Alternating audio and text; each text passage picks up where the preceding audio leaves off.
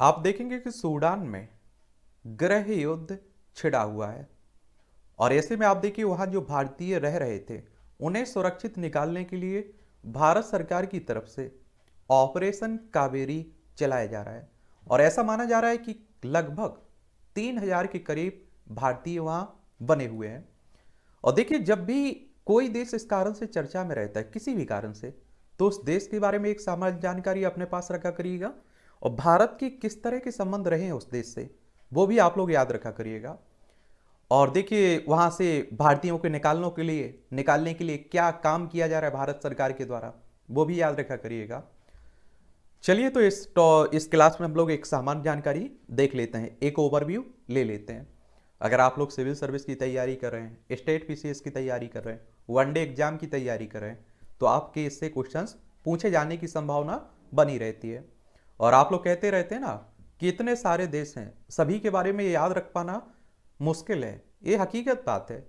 तो यही स्मार्ट गिरी होती है कि जब भी कोई देश किसी कारण से चर्चा में बना हुआ है, उसके बारे में ज़रूर याद रखा करिएगा। और एक बार आप देख लीजिए, ये हमारी प्यारी पृथ्वी है, एशिया में आप देखेंगे, ये हमारा प्यारा भारत आपको दिखाई दे रहा है। यहाँ से आप जाइए, अफ्रीका महाद्वीप में, यहाँ आप लोगों को सूडान देखने को मिलेगा, ये है सूडान। इसकी राजधानी खारतूम देखने को मिलेगी आप लोगों को। और ये आप देखेंगे कि पूर्वोत्तर अफ्रीका में एक देश है। और ये आप लोग देखेंगे कि इससे लगे हुए देशों की देखें तो ये मिस्र हो गया, लीबिया हो गया, चाड हो गया, मध्य अफ्रीकी गणराज्य, दक्षिणी सूडान, इथोपिया, इरिटिया और ये आप देखेंगे यहाँ लाल सागर लगा हुआ है। क्या? लाल सागर लगा हुआ है। ये भी याद रखिएगा आप लोग। तो ऑपरेशन कावेरी सूडान में सेना और एक पृथ्वी द्वंदी अर्धसैनिक बल के बीच तीव्र लड़ाई के चलते वहाँ फंसे अपने नागरिकों को वापस लाने हेतु भारत के निकासी प्रयास का एक कोड नेम रखा गया है। क्या है कोड नेम है? आप लोगों से डायरेक्ट क्वेश्चन अगर पूछे कि भारतीयों को सूडान से निकालने के लिए कौन सा ऑपरेशन जारी किया गया था, कौन सा ऑपरेशन चलाया गया था? ऑपरेशन कावेरी। या आप लोगों से इस तरह का क्वेश्चन पूछ ले कि ऑपरेशन कावेरी का संबंध किससे संबंधित है? तो आप देखेंगे ये सूडान से भारतीयों को निकालने से संबंधित। और इस ऑपरेशन में भारतीय नौसेना के आईएनएस सुमेधा, एक गुप्त अपतटीय गस्तीपोत और जेद्रा में स्टैंड वाय पर दो भारतीय वायुसेना सी तेरह, सेर, सी 130 जेग विशेष संचालन विमानों की तैनाती शामिल है। और सूडान में लगभग 2800 भारतीय नागरिक हैं, जिनमें से आप देखिए 1200 भारतीयों का समुदाय वहाँ पर बसा हुआ है। काम करने के लिए आप देखें, नौकरी के लिए लोग जाते रहते हैं। तो देख लीजिए, सूडान आपको दिखाई दे रहा है। लाल सागर से इसकी सीमा लगी हुई है। सूडान में वर्तमान संकट क्यों है? तो व्यापक विरोध के बाद अप्रैल 2019 में सैन्य सैन्य जनरलों द्वारा लंबे समय से राष्ट्रपति पद पर काबिज उमर अल बसीर को उखाड़ फेंकना सूडान में संघर्ष का कारण है। और इसके कारण सेना और प्रदर्शनकारियों के बीच एक समझौता हुआ। और जिसके तहत 2023 के अंत में सूडान में चुनाव को नेतृत्व करने के लिए संप्रभुता परिषद नामक एक शक्ति साझाकरण निकाय की स्थापना की गई। हालाँकि सेना ने अक्टूबर 2021 में अब्दुल्ला हम दो के नेतृत्व वाली संक्रमणकालीन सरकार को उखाड़ फेंका। बुरहान देश के वास्तविक नेता बन गए और दगालो, उनके सेकेंड इन कमांडर बन गए। और आप देखेंगे कि जो हमारा पड़ोसी म्यांमार है, यहाँ भी आपने देखा होगा कि सैन्य तख्ता पलट हुआ है। आप देखेंगे कि जो अफ़गानिस्तान है, वहाँ भी आप देखें तालिबानों ने कब्जा कर लिया है।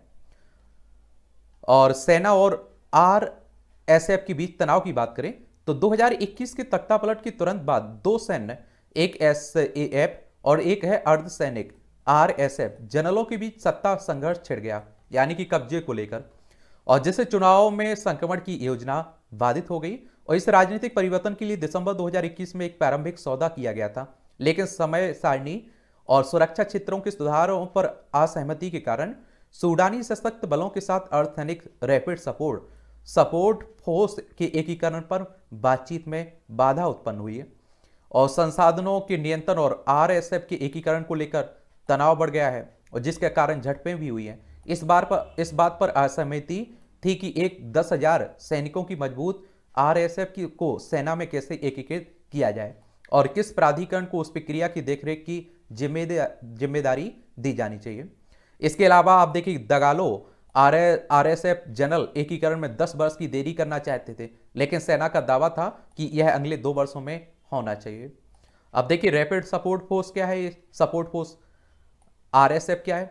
आरएसएफ एक समूह है, यह जंजावीड रक्षक योद्धाओं से विकसित हुआ है और जिसमें, जिसने आप देखिए 2000 के दशक में चाड की सीमा के समीप पश्चिमी सूडान के दारपुर क्षेत्र के संघर्ष में भागीदारी की और समय के साथ रक्षक योद्धाओं की संख्या बढ़ी और 2013 में इसमें आरएसएफ में शामिल हो गई और जिसमें ना, जिस, जिनका विशेष रूप से सीमा रक्षकों के रूप में इस्तेमाल किया गया है। और आरएसएफ और सूडानी सेना ने सऊदी सऊदी एवं अमीराती बलों के साथ लड़ने हेतु 2015 में यमन में सैनिकों को तैनात करना शुरू कर दिया था। आरएसएफ को दारफोर क्षेत्र के अलावा दक्षिण कोर्डोफन और विलू नाइल नाइल जैसी जगहों पर भेजा गया था, जहाँ उस पर मानव अधिकारों के उल्लंघन का आरोप भी लगाया गया था। याद देखेंगे वह 2015 की एक रिपोर्ट में ह्यूमन राइट्स वॉच ने अपने बलों को दयाहीन पुरुष के रूप में वर्णित किया था ये। और वर्तमान संकट का परिणाम देखें तो लोकतांत्रिक परिवर्तन के लिए चुनौती है सेना और आरएसएफ के बीच लड़ाई में सूडान के लोकतंत्र में संक्रमण को और अधिक कठिन बना दिया है। और यह अनुमान लगाया गया है कि झगड़ा व्यापक संघर्ष में बदल सकता है और देश के पतन का कारण भी बन सकता है। आर्थिक संकट की बात हो रही है। अति मुद्रास्फीति और भारी मात्रा में विदेशी ऋण के कारण सूडान की अर्थव्यवस्था अर्थव्यवस्था संकट का सामना कर रही है और हम दो सरकार को हटाने के बाद अन्य देशों से अरब, अरबों डॉलर की सहायता और ऋण राहत पर रोक लगा दी गई है और पड़ी, पड़ोसी देशों में अशांति। तो सूडान के साथ अन्य देशों से निकटता के कारण यह संघर्ष वहाँ फैल सकता है। और क्षेत्र में अस्थिरता उत्पन्न कर सकता है। चार एवं दक्षिण सूडान विशेष रूप से संवेदनशील हैं इसमें। यदि लड़ाई जारी रही तो स्थिति बड़े बाहरी हस्तक्षेप का कारण भी बन सकती है। और सूडान के संघर्षग्रस्त क्षेत्रों से शरणार्थी पहले ही चाड़ आ चुके हैं। अब आप देखिए, जिस देश में लड़ाई होगी तो वहाँ से नागरिक छोड़कर उस देश को भागने की, दूसरे देशों में जाने की कोशिश करते हैं। अगर यही हम लोग भारत और सूडान के संबंध की बात करें तो सूडान का हमारे लिए सामरिक महत्व है। सूडान, पूर्वोत्तर अफ्रीका में स्थित है और तीसरा सबसे बड़ा अफ्रीकी राष्ट्र है। लाल सागर पर अपनी रणनीतिक अवस्थिति, नील नदी तक पहुँच, सोने की विशाल भंडार और किसी क्षमता के कारण अपने पड़ोसी देशों, खाड़ी देशों, रूस अथवा पश्चिमी देशों सहित बाहरी शक्तियों के लिए आकर्षण का केंद्र भी रहा है। और आप देखिए द्विपक्षीय परियोजनाएँ तो इससे, इसने वर्ष 2021 में सूडान में ऊर्जा, परिवहन और कृषि, व्यवसाय, उद्योग जैसे क्षेत्रों में 612 मिलियन अमेरिकी डॉलर के रियायती रेट के माध्यम से उनचास द्विपक्षीय परियोजनाओं की को पहले ही लागू कर दिया था। एक आप देखिए, जुबा शांति समझौते का समर्थन। भारत ने एक संक्रमणकालीन सरकार बनाने के सूडान के प्रयासों का समर्थन किया और अक्टूबर 2020 में सरकार द्वारा हस्ताक्षरित जुबा शांति समझौते का भी समर्थन किया था भारत ने। चार संयुक्त अरब अमीरात और विकास पर अंतर सरकारी प्राधिकरण इसके समर्थक थे। जबकि मिस्र और कतर शांति समझौते के साक्षी थे। और इस समझौते में शासन, सुरक्षा और न्याय जैसे विभिन्न क्षेत्रों को शामिल किया गया था और यह भविष्य की संविधानिक वार्ताओं के लिए महत्वपूर्ण था। और भारत ने वार्ता क्रिया के तहत बाह्य रूप से सशक्त सहायता प्रदान कर और 1200 कर्मियों कर्मियों के साथ नागरिक सुरक्षा के लिए एक राष्ट्रीय योजना का भी समर्थन किया था भारत ने। भारत, भारतीय तकनीक और आर्थिक सहयोग तो भारतीय तकनीकी और आर्थिक सहयोग के तहत भारत ने क्षमता निर्माण के लिए सूडान को 290 छात्रवृत्ति अनुदान प्रदान किए। इसके अतिरिक्त भारत ने 2020 में सूडान को खाद्य आपूर्ति सहित मानवीय सहायता भी हम लोगों ने इसे दी थी। द्विपक्षीय व्यापार की अगर हम लोग बात करें तो आप देखेंगे कि इन वर्षों में भारत और सूडान की भी द्विपक्षीय व्यापार वर्ष 2005-6 के तीन सत्ताईस मिलियन अमेरिकी डॉलर से बढ़कर 2018-19 में सोलह सौ तिरसठ, यानी कि एक हज़ार छह सौ तिरसठ दशमलव सात मिलियन अमेरिकी डॉलर हो गया है, यानी कि बड़ा है। सूडान और दक्षिण सूडान में भारत का निवेश मोटे तौर पर तीन अरब अमेरिकी डॉलर का था, और जिसमें से दो दशमलव चार अरब अमेरिकी डॉलर पेट्रोलियम क्षेत्र, सार्वजनिक क्षेत्र के उपक्रम ओ एन जी सी विदेश विदेश में निवेश किया गया था इसमें। और इसलिए हम देख रहे हैं कि सूडान हमारे लिए काफ़ी महत्वपूर्ण है। भारत द्वारा चलाए गए निकासी अभियान कुछ और भी है। आप लोगों को बताया ना कि कई देशों में, आप देखिए अभी रूस और यूक्रेन में जो युद्ध हुआ, उसमें भी हमारे भारतीय वहाँ यूक्रेन में फंसे हुए थे। तो वहाँ से निकालने के लिए हम लोगों ने ऑपरेशन, क्या चलाया था? गंगा चलाया था। इस तरह की सभी ऑपरेशंस के बारे में आप लोग याद रखिएगा। ऑपरेशन गंगा 2022 में चलाया गया था और यह वर्तमान में यूक्रेन में फंसे सभी भारतीय नागरिकों को वापस लाने के लिए एक निकासी मिशन है। और रूसी सेना द्वारा हमलों की श्रृंखला शुरू करने के बाद यूक्रेन में युद्ध पिछड़ने के साथ ही वर्तमान में रूस और यूक्रेन के बीच तनाव बढ़ गया है और वहाँ अभी भी युद्ध चल रहा है। ऑपरेशन देवी शक्ति 2021 ऑपरेशन देवी शक्ति तालिबान द्वारा तेज़ी से कब्जे के बाद काबुल से अपने नागरिकों और अफगान भागीदारों को निकालने की भारत का जटिल मिशन था ये। ये आप देख लीजिए एक बार। देखिए, यहाँ से आप देखिए। ये है यूक्रेन, ये है रूस। इन दोनों के बीच आप देखे रहे थे, युद्ध चल रहा था। उस समय ऑपरेशन गंगा चलाया गया था। ऑपरेशन देवी शक्ति कब चलाया गया था? जब आप देखेंगे जो अफ़गानिस्तान है ना, ये है अफ़गानिस्तान। हमारे लद्दाख वाले हिस्से की सीमा लगती है।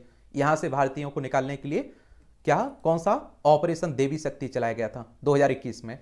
वंदे भारत 2020 में चलाया गया था। कोरोना वायरस के कारण वैश्विक यात्रा पर प्रतिबंध होने के बाद के कारण विदेश में फंसे भारतीय नागरिकों को वापस लाने के लिए वंदे भारत मिशन चलाया गया था। और इस मिशन के तहत कई चरणों में 30 अप्रैल 2021 तक लगभग 60 लाख भारतीयों को वापस लाया गया था। क्योंकि बड़ी संख्या में आप देखिए लोग बाहरी देशों में काम करते हैं हमारे यहाँ के। फिर आप देखेंगे कि एक और ऑपरेशन ऑपरेशन समुद्र सेतु ये 2020 में चलाया गया था। यह कोविड 19 महामारी के दौरान भारतीय नागरिकों को विदेशों से घर वापस लाने की रा, के राष्ट्रीय प्रयास के हिस्से के रूप में एक नौसैनिक अभ्यास था ये। और इसके तहत आप देखिए तीन हज़ार नौ सौ बानवे भारतीय नागरिकों को समुद्र के रास्ते मातृभूमि में सफलतापूर्वक वापस लाया गया था। भारतीय नौसेना के जहाज़ Jalashwa, landing platform dock, Airavat, Shardul, Magar landing ship, tank ने इस ऑपरेशन में भाग लिया था, जो 55 दिनों तक चला था। और इसमें आप देखिए, समुद्र द्वारा तेईस हज़ार किलोमीटर से अधिक की यात्रा शामिल थी इसमें।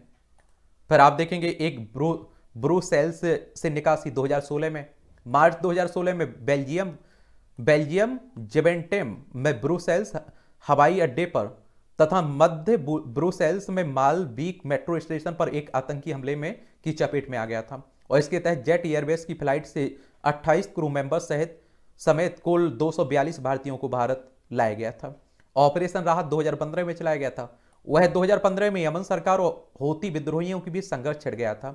और सऊदी अरब द्वारा घोषित नो फ्लाई जोन के कारण हज़ारों भारतीय फंसे हुए थे।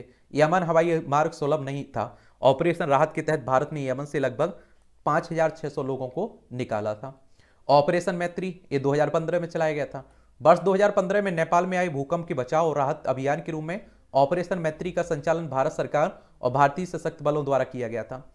सेना वायुसेना के संयुक्त ऑपरेशन में नेपाल से वायुसेना और नागरिक विमानों द्वारा 5000 से अधिक भारतीयों को वापस लाया गया था। भारतीय सेना ने अमेरिका ब्रिटेन रूस और जर्मनी से 170 विदेशी नागरिकों को सफलतापूर्वक निकाला था। एक आप देखें ऑपरेशन सुरक्षित घर वापसी 2011 का है। संघर्षग्रस्त लीबिया में फंसे भारतीय नागरिकों को वापस लाने के लिए भारत ने ऑपरेशन घर वापसी शुरू की थी। ऑपरेशन के तहत आप देखिए भारत ने 15,400 भारतीय नागरिकों को निकाला। इस ऑपरेशन में लगभग आप देखिए 15,000 नागरिकों को बचाया गया था। ईआरसी ऑपरेशन भारतीय नौसेना और एयर इंडिया द्वारा आयोजित किया गया था ये। ऑपरेशन सुकून 2006 में चलाया गया था। जुलाई 2006 में जैसे ही इजराइल और लेबनान में सैन्य संघर्ष हुआ था तो भारत ने ऑपरेशन सुकून शुरू कर वहाँ फंसे अपने नागरिकों को बचाया और जैसे अब बैरूत सेलिप्ट के नाम से जाना जाता है यह डन कर्क निकासी के बाद से सबसे बड़ा नौसैनिक बचाव अभियान है। और टास्क फोर्स ने 19 जुलाई और 1 अगस्त 2006 के बीच कुछ नेपाली और श्रीलंकाई नागरिकों को सहित लगभग 2280 लोगों को निकाला था। फिर आप देखें कुवैत एयरलिफ्ट ये 1990 का है। और इसमें आप देखिए वर्ष 1990 में जब 700 टैंकों से लेस एक लाख, कितना? एक लाख इराकी सेना सैनिकों ने कुवैत पर हमला किया था। तब शाही और अति विशिष्ट व्यक्ति सऊदी अरब भाग गए थे। वही आम जनता के जीवन को जोखिम में डाल दिया गया था। कुवैत में फंसे लोगों में लोगों में एक लाख सत्तर हज़ार से अधिक भारतीय थे। और भारतीय, भारत ने निकासी अभियान शुरू किया था, जिसमें जिसमें आप देखिए एक लाख सत्तर हज़ार से अधिक भारतीयों को एयरलिफ्ट किया गया था और वहाँ पर भारत वापस लाया गया था। तो ये ऑपरेशन हैं और सूडान की बात हो गई और मुझे लगता है कि इस टॉपिक से अगर क्वेश्चंस पूछे जाएँगे तो आसानी से आप लोग उनका जवाब दे पाएँगे। ठीक है? और किसी टॉपिक के बारे में बात करनी हुई, हुआ करें तो आप लोग उसका नाम बता सकते हैं।